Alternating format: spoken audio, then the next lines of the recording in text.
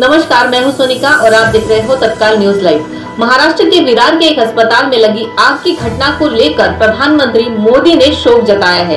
इस घटना में तेरह कोविड मरीजों की मौत हो गई है। प्रधानमंत्री कार्यालय की ओर से ट्वीट कर पीड़ित परिवारों का मुआवजा देने की घोषणा की गई है। ट्वीट के मुताबिक प्रधानमंत्री राष्ट्रीय राहत कोष से इस घटना में जान गंवा चुके मरीजों के परिवार को दो दो लाख रुपए दिए जाएँगे। वही घटना में गंभीर रूप से घायल मरीजों के परिवार को पचास हज़ार रूपए का मुआवजा दिया जाएगा। बता दें कि विरार के विजय वल्लभ अस्पताल में गुरुवार देर रात आग लग गई थी। आग यहाँ पर इंटेंसिव केयर यूनिट में लगी थी, जिसके चलते तेरह कोविड मरीजों की जान चली गई। अस्पतालों के एक शीर्ष अधिकारी ने बताया कि यह घटना के वक्त करीब 90 मरीज़ भर्ती थे।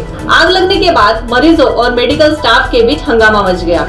अस्पताल के स्टाफ ने तुरंत मरीजों को दूसरे अस्पताल में शिफ्ट किया। कुछ लोगों ने दावा किया था कि अस्पताल में घटना के वक्त कोई डॉक्टर मौजूद ही नहीं था, लेकिन अस्पताल के अधिकारी ने इसे खारिज कर दिया है।